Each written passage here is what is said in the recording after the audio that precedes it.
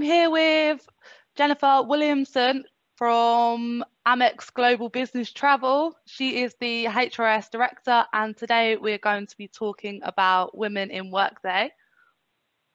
Uh, Jen, if you want to do a, a, quick introduction to, to who you are and what you do, that would be great. Yeah, sure, I can do that. So thanks for having me, Emily. It's um, you know, it's I hope it's going to be a fun experience, but I, I have no so. doubt it will be. um, so yeah, so I'm Jen Williamson. Um, you know, I've been working in the workday space for over 10 years at this point. Um, and most recently, my career here, I've been at Amex GBT for three and a half years, um, and I've known some pretty some pretty good career growth while I'm here um, and developing, you know, furthering my skills within the workday space.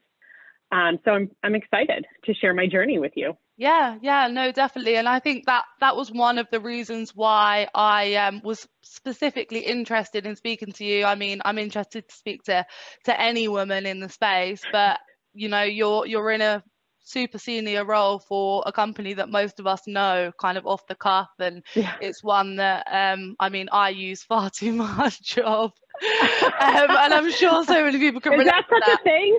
Yes, it is definitely is a thing. no, actually, yeah. To be fair, I've, I've I've saved quite a lot of air miles throughout this period, which is ironic because I can't yeah. use them to go anywhere. Um, no no. but but I'm sure it'll be helpful in the future. But but no, yeah, keen yeah. to just hear more about your journey, kind of where you started. I think in the workday space, some people start from a super HR based background and, and work their way yeah. into the workday system space. Other people are very IT orientated and then want to go more kind of process orientated. So keen to hear your journey and a little bit more about your path into into workday and your position now. Yeah, no, it's, um, I hope it's interesting. I think so, it will be. um, but yeah, I, you know, I started off um, in the payroll and benefits space, more focused okay. in on benefits um, and managing, um, you know, the employee benefits program, mm-hmm. helping to answer questions, you know, managing renewals and all of that. Um, and during that time with within that company, um, you know, I got more and more involved within you know the system side of it i wasn't by any means responsible for it, but we did a couple upgrades you know they asked for feedback mm-hmm. um, but i think one of the key things here is that i met who would be one of my favorite people in the world my okay. manager there um, she had ended up moving on to a different company um, and she had reached out when they had decided that they were going to go with a new hr system um, and based off of our time together uh, prior, she was like, You want to come on board? And I was like, you know, so my journey into the workday space started um, week one of my new job. I flew to Pleasanton, okay. California for for HR, you know, workday fundamentals yeah. training in 2011. Crazy. Uh, January 2011. I know. And then week two actually started orientation with that company wow. itself. Um, so, you know, as they like to call it, you know, it's drinking from the fire hose, right? So I learned Workday as I learned the company that I yeah. was working for um, at the same time. And I have to say, it was hard work, right? We yeah. did a six month implementation. So wow. I'm no stranger to implementations either. And yeah. then, um, you know, I was there for five years. Um, you know, saw some people, you know, come and go within the workday mm-hmm. space, but we were such a small company yeah. um, that I really became almost a one man band for a right. lot of it. Um, you know, I managed through seven acquisitions wow. in a year while keeping the lights on.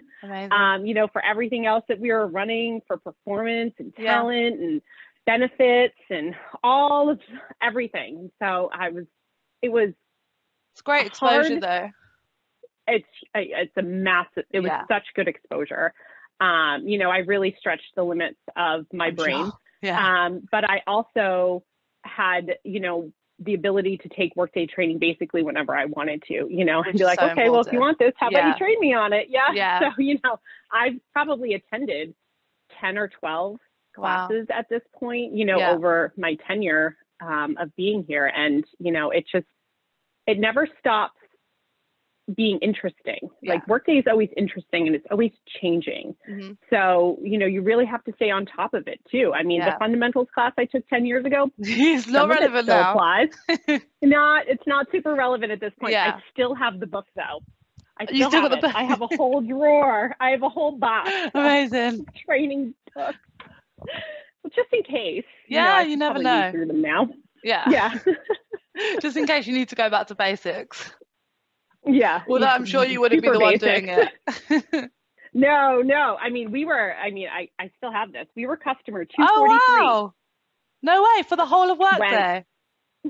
Yeah, all of Workday. Yep. When we we That's when insane. we picked Workday for that company, we were 243. Yeah. I don't even know how many clients they have now.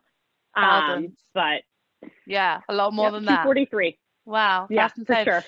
So obviously you've been in the space for, for a long time. 10 years is is a long time to be in one technology, to be so ingrained in one space. And I think Workday is such an ecosystem. Like you know what's going on at your company, but you, there's so many events, there's so much networking that you tend to get to know other people in other companies doing similar things. Yeah. Um, so it'd be interesting to hear kind of what you think about how the diversity perhaps has changed or not changed? Did it always start off as being quite a, a female orientated or a quite a gender neutral area? Or have you found that over the time you've been doing it, there's more and more women coming into the space? You know, I have to say, um, I think it's, you know, HR within itself is a very yeah. female dominated you know sector you yeah. know and i didn't start in the it side mm-hmm. however i feel like workday being the system that it is and the way they've structured it yeah it gives people that are at the core an hr professional yeah. the ability to manage this as well so um, I think it it's a lot different because we're not looking at, you know, I'm not saying that there's not women coders out there and yeah. engineers and all of that, but you don't have to no. be one yeah. in order to manage Workday. And I think mm-hmm. that's one of the reasons why it sticks out so much and why there, I feel like there are more and more women coming yeah. into this space uh, because it's not, you know, I didn't have to it's go back scary. to learn how to code anything. Yeah, no, it's not that scary. You know, once you understand it, um, once you understand one part of it, yeah. once you take that fundamentals course, you can really just run with it. Yeah. Um, without looking at X's and O's. I'm not a technical person. No. At all. It's just, it's not something I can barely do HTML coding. Um, I managed to get it done, but it's not within my yeah. space. And I think not that, you know, it, technology has always been, you know, a very consistently male driven industry. Yeah, absolutely. And you know that that tide is turning you know you see more and more women going into that stem and technology space mm-hmm. i think workday bridges that gap where you know there's comfort because we, we're an hr professional right yeah. and you're at the core but the system isn't embedded in code yeah. that you're trying to manage and recode and do um, you know your button clicking and yeah. typing and activating and you know doing it from from a place that's more comfortable. Yeah. Yeah. Yeah no definitely. And i mean so often we find that people who come from like a more hr or process led background actually make for the best workday consultants because they can see it from both sides. They know what they need it yeah. to look like. Whereas on mm-hmm. the it side i mean don't get me wrong i'm not there's I'm not saying anything bad about people who are very IT orientated, but sometimes there's that lack of communication between actually being behind and building something and coding yeah. something to knowing what it needs to look like and, and how user friendly it needs to be. And so I actually think it just creates the the perfect path for more women to be involved in in technology through HR. Yeah, I absolutely agree. Yeah. Um, you know, I, it, so one of the biggest things that I think about every day mm-hmm. is who my who my customers are, right? Yeah. So, you know, I'm the functional manager. So mm-hmm. all of the functional, everything that you see in Workday falls on me and my team mm-hmm. um, to make sure that it's working for the end user, but it's also working for the administrators and it's working for, you know, like our tier one team that's yeah. sort of, you know, responsible for employee inquiries. Like, how do we make it easy for them yeah. to understand it and not just easy for us to administer it. Like there has to be a balance and yeah, striking that balance is something that I think gets lost when yeah. you're so focused just when on the technology side of it. Yeah. yeah. And, and, thinking of it that way, I mean, I guess you could also use it on on the flip side because where HR is such a, a female dominated area, I suppose Workday also kind of bridges that gap and brings more men into human resources and gets them thinking more about the process led stuff. So so it works both ways. It's really about diversity, I guess, rather than just one or the other. Yeah, absolutely. I mean, mm. my direct leader here at Amex GBT, he's he's a male and he's one yeah. of the very few on I mean on the very high senior leadership team but you know I have I also have a very diverse team as well yeah. you know I they sit all over in the UK mm-hmm. and Poland and in Phoenix you know they all come from different backgrounds and yeah. they're not all male or female it's a good healthy mix of both Workday themselves obviously do a lot for for gender equality and diversity and um, and I know they have particular input particular interest in uh, in gender pay gaps and ensuring that everyone is is paid fairly. Um, and lots of their CEOs are women. I think five of their CEOs are are female. Do you think them as an organisation encourage their users and, and the Workday ecosystem to promote women into leadership positions? Do you think they have an influence on that? Yeah, I mean, they use their their platform and the way they bring mm-hmm. people mm-hmm. together as you know a very good sounding board to yeah. you know for what other companies want to look like. You know, I mm-hmm. recently sat in on their their vibe. Um, oh yeah, I've seen value, this. inclusion, belonging, yeah. equality. I sat in on that um, a week or so ago, and okay. I was like, and this is why I love Workday. Yeah. Like they're, I truly look at them as a thought leader in this yeah. space because they're not a you know they they come up with some you know really catchy slogans you know yeah. god's a great slogan when you're looking yeah. at it. Um, but then they also prove it right? They're yeah, not just oh well look at this. Great. Yeah. like they're there to truly back it up.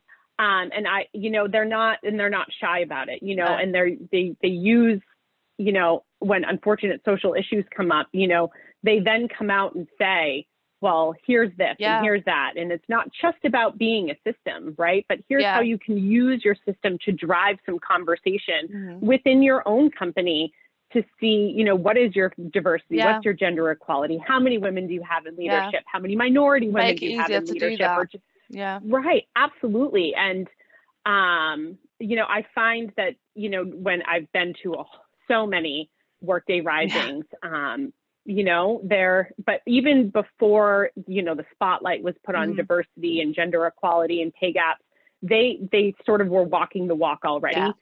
so when when push came to shove and you know all this stuff gets put in the news and everybody's mm. seeing it you know they were already there already um, and i think for a younger sort of dynamic company you know they're we're not looking at sort of an old boys club no. mentality right that they're coming out with they're they're they're yeah. fresh they're young yeah. um and i think the companies that you know they work very closely with you know a lot of yeah. people can adopt that. Yeah definitely. They're they're a great example i think. Um they are. They are absolutely. Yeah.